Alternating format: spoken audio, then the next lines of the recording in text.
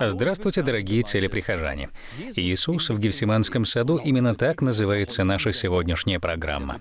А название этого сада можно сказать, что оно говорящее, потому что именно там Иисус провел свою самую великую битву. Так как же переводится это название?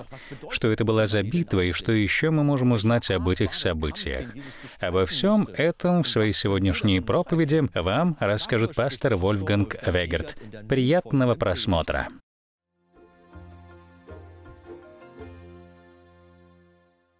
Сейчас мы прочитаем отрывок из 14 главы Евангелия от Марка, стихи с 32 по 42. «Пришли в селение, называемое Гефсимания, и он сказал ученикам своим, «Посидите здесь, пока я помолюсь». И взял с собой Петра, Иакова, Иоанна, и начал ужасаться и тосковать. И сказал им, «Душа моя скорбит смертельно, побудьте здесь и бодрствуйте». И, отойдя немного, пал на землю и молился, чтобы, если возможно, миновал его час сей, и говорил, «Абба, Отче, все возможно тебе. Пронеси чашу сию мимо меня, но ничего я хочу, а чего ты?» Возвращается и находит их спящими, и говорит Петру, «Симон, ты спишь? Не мог ты бодрствовать один только час? Бодрствуйте и молитесь, чтобы не впасть в искушение. Дух бодр, плоть же немощна. И опять, отойдя, молился, сказав то же самое слово. И, возвратившись, опять нашел их спящими, ибо глаза у них отяжелели, и они не знали, что ему отвечать. И приходит в третий раз и говорит им, «Вы все еще спите и почиваете? Кончено. Пришел час. Вот предается Сын Человеческий в руки грешников. Встаньте, пойдем, ибо вот приблизился предающий меня. Аминь. Какие драматичные слова. После того, как Иисус предсказал, что Петр и другие ученики отрекутся от Него, они стали опровергать Его слова.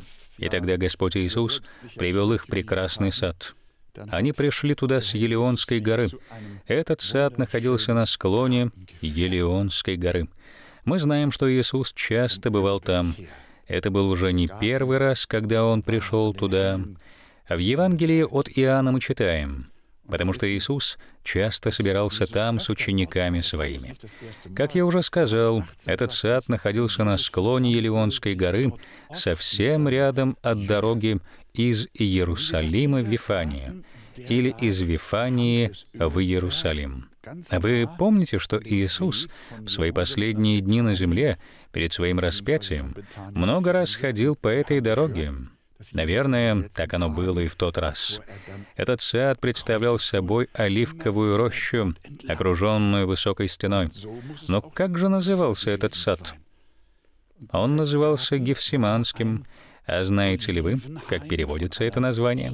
Слово «гефсимания» можно перевести как «давильня для маслин» или «масличный пресс».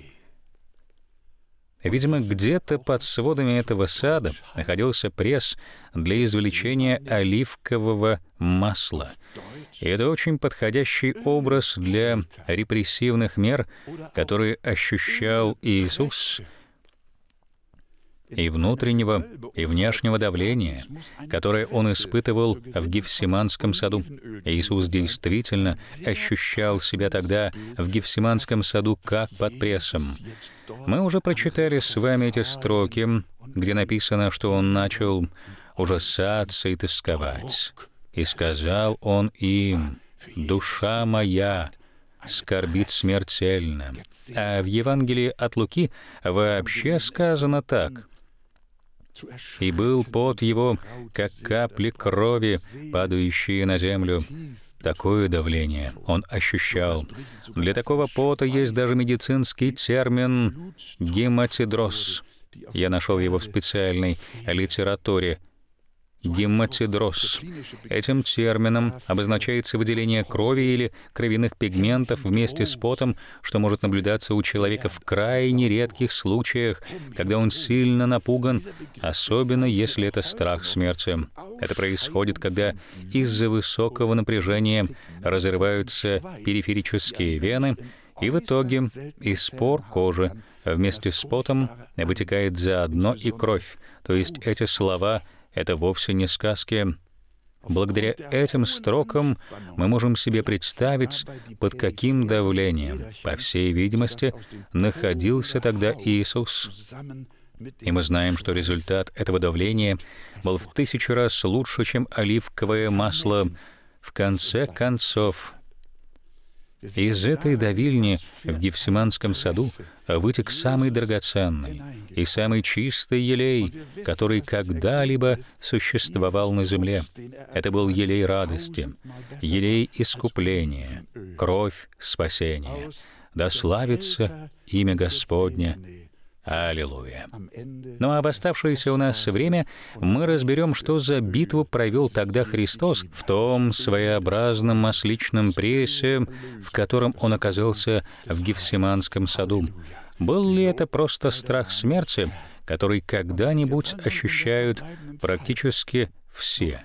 Или же за всеми этими событиями стояло что-то еще? В отрывке, который мы разобрали чуть ранее, мы прочитали о том, что Иисус сначала пришел туда со своими учениками, со всеми учениками, но, вернее, их было одиннадцать. Один их покинул. Это был Иуда. Их осталось только одиннадцать. Вот с этими одиннадцатью учениками Иисус и пришел в Гефсиманский сад. Но перед самым входом в сад Он сказал им, «Посидите здесь, пока я помолюсь». Но все-таки он взял с собой троих из них, а именно Петра, Иакова и Иоанна. После того, как он поделился с этими тремя своей внутренней скорбью, тем, что так давило на него, своим горем, своим бременем, он оставил и их, и вот что пишет нам об этом Лука. «И сам отошел от них навержение камня». Гефсиманский сад занимал довольно большое пространство. Там вполне можно было далеко метнуть камень. Иисусу было очень трудно это сделать, ведь ему пришлось покинуть даже небольшой кружок своих учеников, чтобы быть в состоянии провести эту битву. Иисус бы с удовольствием взял их с собою. Как было бы здорово, если бы в этот скорбный момент с ним были его самые близкие друзья. Хочу вам признаться, что когда я переживаю какой-то тяжелый период своей жизни, мне гораздо лучше, когда рядом со мною моя жена или какие-то другие люди, которые будут рядом, когда мне это необходимо, которые будут подбадривать меня, которые будут помогать мне. Но Иисусу пришлось расстаться с ними, потому что Он не мог взять их с собою, потому что истина заключалась в том, что ученики не могли ничем помочь своему Господу в том, что Ему предстояло. Потому что в битве Ради спасения мира никто из них не мог быть полезен. Эту битву он должен был провести один. Бремя человеческого греха может нести только один, а не все вместе, сплотив свои усилия таким солидарным коллективом. Искупление было обретено не совместными усилиями, а личным деянием одного. Только Христос, удалившись от всех остальных, мог понести нашу вину и вынести гнев Божий. Никто иной не мог принять участие в искуплении. Это мог сделать только один Иисус. Он лично добился этого для вас и для меня, без помощи своих лучших друзей — он один взошел на крест ради этого. А вот почему. Он удалился от так любимых им учеников. Даже от трех наиболее важных для него, отойдя от них на вержение камня, и там упал на колени и стал молиться. Там он молился, «Авва, Отче, все возможно тебе, пронеси чашу сию мимо меня». Но о какой же чаше тут идет речь? Из какой это чаши он должен был испить, что именно было для него так тяжело, что так давило на него, чего бы он с радостью не делал. Он говорил этим, что ему нужно было взять на себя грехи всех людей, его перетряхивало от этой перспективы. Только подумайте о том, что ему предстояло. Иисус был совсем не таким испорченным, как мы. Прежним нам грехи не казались чем-то ужасным. Иногда мы даже с удовольствием их совершали. Наша прежняя природа была греховная, и прежний человек — был падшим созданием и вполне себе уживается с грехом. Но потом у нас появилась новая природа, и тогда мы начали страдать из-за грехов, но у Иисуса никогда не было той прежней, нашей ветхой природы. Он никогда не совершал грехопадения. Он никогда не совершал греха в своей жизни. Грех был ему незнаком. Иисус с самого начала являл собой новую природу. Он всегда был чистым, всегда был праведен, всегда был свят. На нем не было и пятнышка греха. И вот его небесный Отец говорит ему, «Мой сын, мой возлюбленный сын, такой чистый, ты должен взять на себя всю эту грязь. Вот это да! Теперь-то вы, наверное, понимаете, почему Иисус не стал говорить, «Отец мой, как же это прекрасно!» Нет, это противоречило его природе, но получалось, что он должен был взять на себя нечто, что противоречило его природе, нечто, что было ей чуждо. Ибо он был без греха. Но ему нужно было взять на себя грехи других. Битва, которую он провел в Гефсиманском саду, была чужда его природе. Павел писал о нем так. Он, не знавший греха, был вынужден взять на себя наши грехи. Он, бывший чистым своим характером и сущностью, он, ненавидевший зло, теперь должен был связать себя с нашими грехом и виной. Он должен был забрать их у нас и понести на своих плечах. Его сердце и душа должны были быть обременены нашим злом. Ему даже пришлось признать себя виновным и быть осужденным за них. В состоянии ли мы себе представить, как это было ему противно, как это противоречило его природе, как все это навалилось на него и погрузило его в депрессию. В Библии у пророков об Иисусе сказано следующее. «Чистым очам твоим не свойственно глядеть на злодеяние». И вот теперь Иисусу пришлось не просто глядеть на злодеяния, ему пришлось взять их на себя. Проклятие нашего греха теперь должно было перейти к Нему. Он, бывший абсолютно чистым, должен был, как написал Павел в другом месте, претерпеть наше преступление в своем собственном теле и взять их с собой на крест. Теперь это зло должно было быть возложено на Него, того, кто никогда не грешил, того, кто всегда был новым, светлым, чистым и святым. Иисус и грех, как они вообще могли сочетаться? И все же настал час, которого так ожидал его Отец. И мы можем теперь понять молитву Иисуса. мы можем понять хоть немножко из его слов. «Отче, Ава, отче, пожалуйста, не надо. Пронеси чашу сию мимо меня».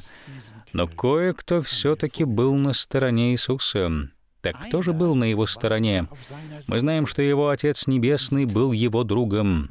Его Отец никогда не хотел навредить ему, но он хотел искупления для людей, и его должен был принести им Иисус. Но был некто, кто был его ложным другом. И этот некто якобы стоял на его стороне. Кто же это был? Это был дьявол. Иисус в Евангелии от Луки сказал, «Каждый день бывал я с вами в храме, и вы не поднимали на меня рук. Но теперь ваше время и власть тьмы». Во время своей молитвенной битвы в Гефсиманском саду Иисус увидел, как сгустилась тьма, и ему явился сатана. Власть тьмы наступила в тот момент в Гефсиманском саду и хотела искусить Иисуса. Тьма говорила, «Иисус, я с тобою». Дьявол хотел, чтобы Иисус не прекращал испытывать внутреннее отвращение к злу, не беспокоился о грехах мира и не брал их на себя. Этот совет дьявола полностью соответствовал святости Иисуса. Он говорил, «Иисус, не делай этого». Дьявол все это время пытался сделать только одно — не дать Иисусу так поступить. И сейчас он хотел оградить, ну, в кавычках, конечно, его от креста. Дьявол действует так всегда. Когда Иисус умирал от голода в пустыне, дьявол сразу же явился к нему с предложением того, как побыстрее решить его проблему. Скажи, чтобы камни сии сделались хлебами. Как мы можем заметить, дьявол просто мастер в таких делах. Он предлагает Божьим людям разум, убрать все трудности со своего пути. У него есть отличные уловки, помогающие ему это легко проделать.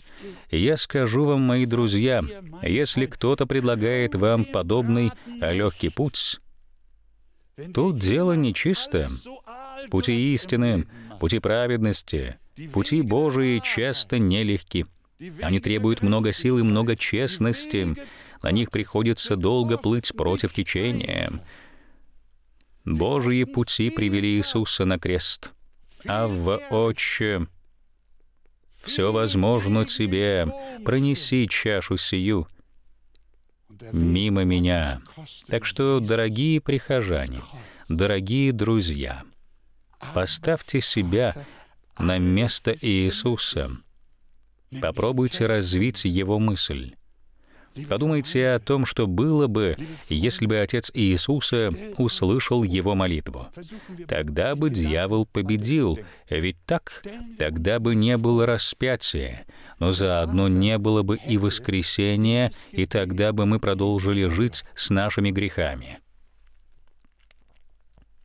Тогда не было бы искупления, и все мы все продолжили бы э, жить, ощущая гнев Божий.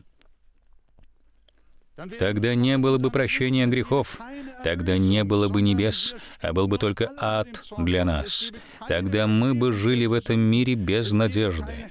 Но я скажу вам, друзья, славен наш Спаситель Иисус Христос. Ибо еще до того, как закончить эту молитву, Он сам воскликнул «Нет, нет, Отче, да будет воля Твоя, а не моя. Аллилуйя, аминь.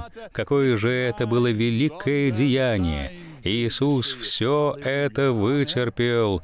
Наш Господь Иисус пошел нелегким путем, а был готов избрать для себя тяжелый путь. Он пошел нелегким путем. Он не попался на козни врага. Он последовал воле своего Отца. Ничего я хочу, а чего ты. И что же в итоге произошло? У Марка этого нет, но мы можем прочесть об этом у Луки. В этот критический момент или можно сказать, очутившись в этой кризисной ситуации, в этой самой великой кризисной ситуации за всю историю мира, что же произошло? Явился же ему ангел с небес и укреплял его.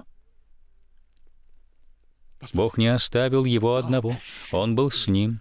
И вот почему, друзья мои, вам тоже не следует всегда идти прямыми, а также прекрасными гладкими путями, ибо они могут лишить вас самого важного.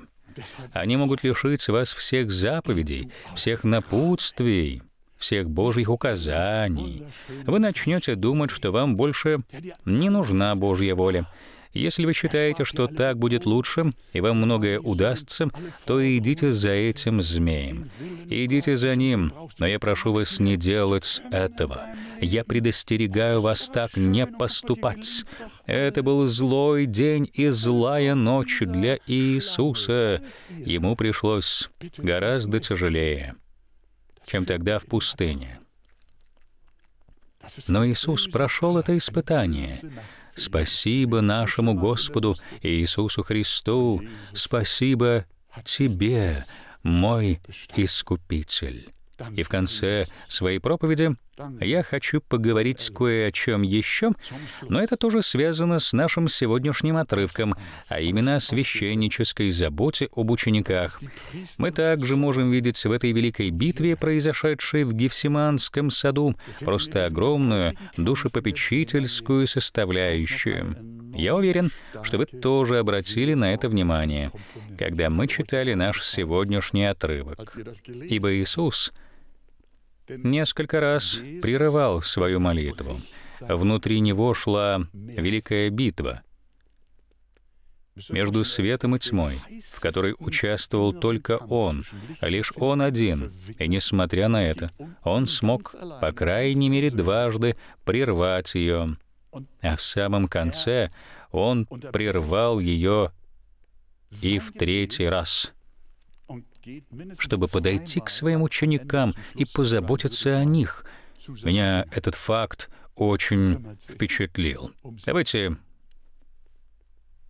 еще раз прочитаем один кусочек из нашего сегодняшнего отрывка. Возвращается и находит их спящими, и говорит Петру, «Симон, ты спишь? Не мог ты бодрствовать один час? Бодрствуйте и молитесь, чтобы не впасть в искушение» дух бодр, плоть же немощная. И опять, отойдя, молился, сказав то же слово. И, возвратившись, опять нашел их спящими, ибо глаза у них отяжелели, и они не знали, что ему отвечать. И приходит в третий раз и говорит им, «А вы все еще спите и почиваете?» В пылу своей борьбы наш Господь не забыл о своих учениках — он переживал за них и даже несколько раз прерывал свою молитвенную битву ради них. Он увещевал их, он предостерегал их, он служил им, он любил их. Разве не должен был он сказать им усталым и незаинтересованным голосом, «Что мне с вами делать? Ведь я знаю, что в решающий момент моей жизни и моей борьбы вы отвернетесь от меня. Вы мне не нужны, Бегите прочь, предатели!» Нет, его священническое сердце не забыло своих учеников. Он не отвернулся от них, хотя знал, что вскоре все они покинут его. Дорогие прихожане, дорогие сестры и братья, дорогие друзья, так любящие Иисуса, какое же это прекрасное утешение для нас. Мы тоже порой устаем, и глаза наши тяжелеют. Ведь так? Иногда наш дух желает что-то сделать, но наша плоть не дает нам этого сделать.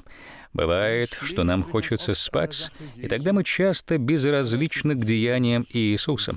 Но наш Спаситель постоянно вторгается в нашу духовную литургию и будет нас. Возможно, кто-то из сидящих сегодня в этом зале очень поддерживает Божьи деяния, но сердце его недостаточно устремлено к Иисусу. И вы, наши друзья, по ту сторону экрана, где бы сейчас ни находились, послушайте меня, многие христиане, ведут себя очень сонно. Многих из них ничего не интересует. Многие из них ведут себя эгоистично. Я хочу помолиться за вас, чтобы Бог через это богослужение пробудил и всех нас трижды, чтобы Он сказал «Вперед, Вольфганг!» Пробудись же, я не покину тебя, я пробуждаю тебя, я ищу тебя, я забочусь о тебе даже в самые тяжкие моменты твоей жизни. Он — это наш первосвященник, молящийся за нас. Однажды он молился за Петра такими словами. «Симон, Симон, вот сатана просил, чтобы сеять вас, как пшеницу, но я молился о тебе, чтобы не оскудела вера твоя. Он также молится и за вас, чтобы ваша вера не оскудела, и чтобы вы навсегда обрели спасение. Да славится прекрасное имя Иисуса. Ибо в Библии сказано, что Бог верен нам, даже когда мы не верны Ему. Он остается верен нам, ибо Он не может сам себя оболгать. Какая же это прекрасная история! Какая же это прекрасная весть! И какое же это утешение для всех нас, следующих за Иисусом. Он в одиночку вел свою борьбу. Он был совсем один. Его ученики отреклись от него. Он не поддался на уловки дьявола, а слушался своего отца. Он совершил то, что противоречило его природе. Он покорно слушался своего отца до самой своей смерти на кресте. Он сделал это для вас и для меня. Он сделал это для всех тех, кто всем своим сердцем верит в его имя. Иисус действительно ощущал себя тогда в Гефсиманском саду, как под прессом. Аминь. Если наша сегодняшняя программа вам понравилась, или у вас есть какие-то вопросы, мы будем рады, если вы с нами свяжетесь. Мы с удовольствием пообщаемся с вами по любому вопросу. Вы можете написать нам электронное или обычное письмо. Наши адреса вы видите сейчас на экране. Мы от всего сердца благодарны нашим зрителям за их поддержку. Ваши молитвы и пожертвования очень способствуют тому, что наша программа продолжает выходить в эфир. Мы будем очень рады, если вы переведете пожертвования на наш счет. Мы будем рады, если вы посмотрите и наши следующие программы.